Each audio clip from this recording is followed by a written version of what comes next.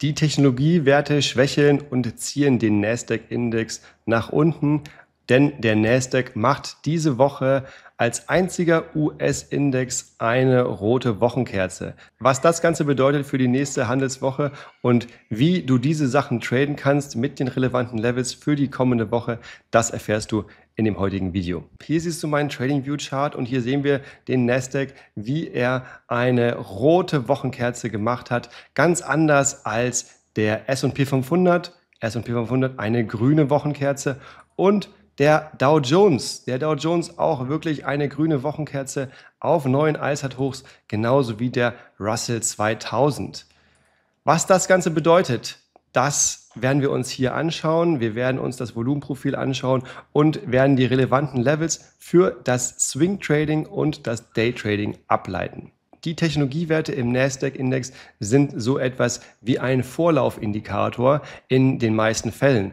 Und wenn wir hier im Nasdaq-Index, so wie in der letzten Woche, nun eine Schwäche sehen, dann kann das sein, dass sich diese Schwäche der Technologiewerte auf die anderen Indizes überträgt. Das heißt jetzt nicht, dass die Welt zusammenbricht, aber dass wir eventuell hier in den nächsten Wochen eine Korrektur sehen werden. Und das schauen wir uns jetzt erstmal nochmal hier auf dem äh, Tageschart an. Im Tageschart sehen wir ebenfalls den Nasdaq-Index und der Nasdaq-Index hat es am Freitag nicht geschafft, ein neues ähm, Jahreshoch zu machen, ganz anders als der S&P 500. Der S&P 500 hat hier diese Außenkerze von Donnerstag komplett nochmal überschritten und konnte am Freitag, also am Wochenschluss, neue Jahreshochs machen. Das heißt, die großen Marktteilnehmer, die werden wir uns jetzt gleich im Volumenprofil auch noch weiter anschauen und dort dann auch die relevanten Levels ableiten. Die haben hier am Freitag nur eine Reparaturkerze letzten Endes hergestellt. Das heißt, sie haben die Außenbar, die Verkäufe von Donnerstag letzten Endes in dieser kleinen Korrekturkerze etwas repariert und ähm, wir werden sehen, wie es jetzt die nächste Woche weitergeht. Schauen wir uns das Ganze hier auf dem Volumenchart an.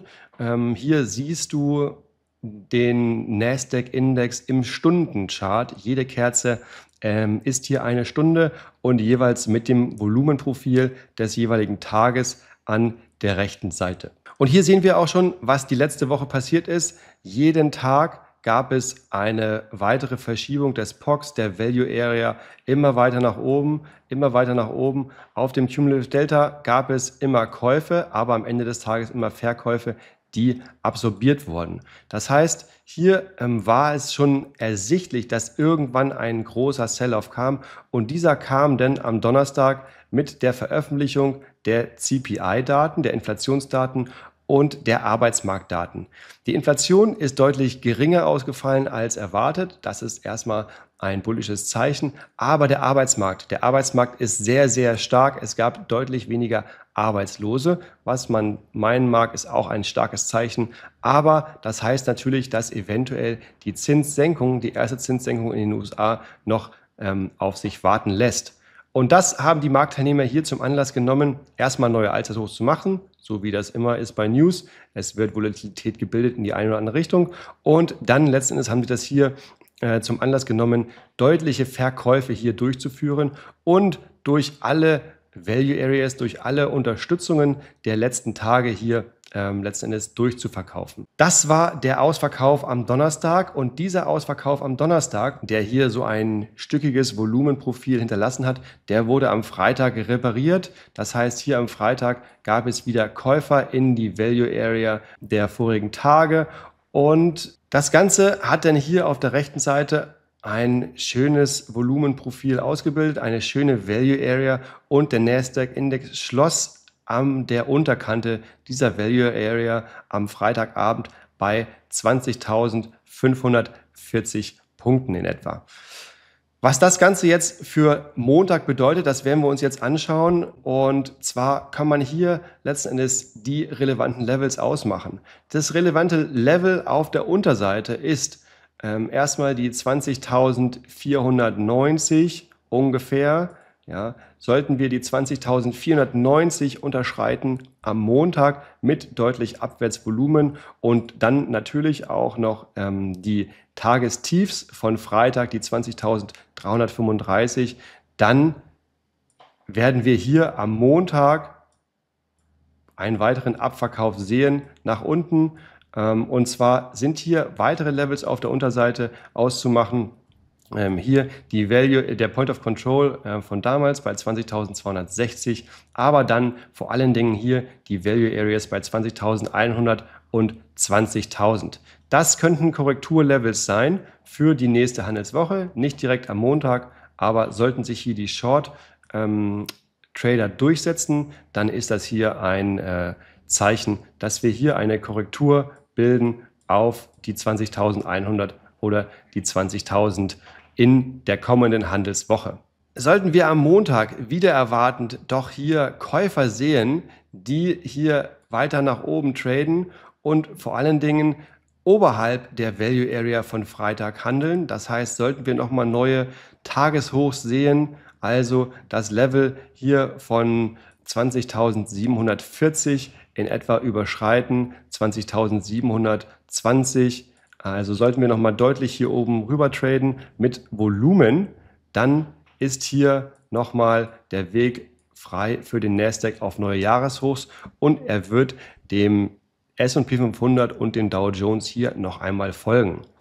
Das heißt, für die kommende Handelswoche kann man diese zwei Marken ausmachen. Ähm, sollten wir letzten Endes hier unter die 20.490 traden mit deutlich Abwärtsvolumen, deut mit deutlichen Verkäufern, dann wird sich hier in der kommenden Woche die Korrektur fortsetzen bis eventuell auf die 20.000 runde Marke.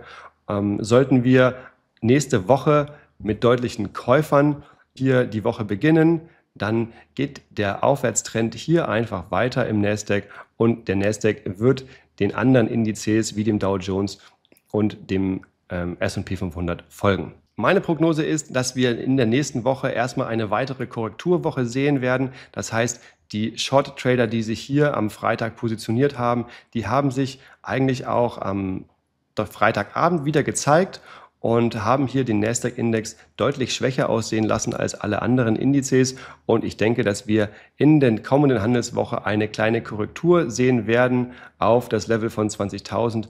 Und dann ist, sind das natürlich Kaufgelegenheiten, denn der übergeordnete Aufwärtstrend, der ist weiterhin hier intakt. Ähm, das sehen wir auf dem Tageschart, das sehen wir auf dem Wochenchart und dieser wird sich in den nächsten Wochen dann weiter durchsetzen. Wenn du diese Analyse magst, dann lass dem Video doch gerne ein Like da, schreib deinen Kommentar. Und wenn du lernen möchtest, wie du solche Analysen erstellst und vor allen Dingen diese dann auch tradest, im Swing Trading, im Day Trading, dann schau dir gerne meine Webseite an, kontaktiere mich, buche ein kostenloses Gespräch mit mir und ich werde dich beraten, wie du zu einem konstant profitablen Trader werden kannst. In diesem Sinne, ich wünsche dir ein angenehmes Wochenende, bleib unbedingt dran, achte auf dein Risiko, Money Management und wir sehen uns im nächsten Video.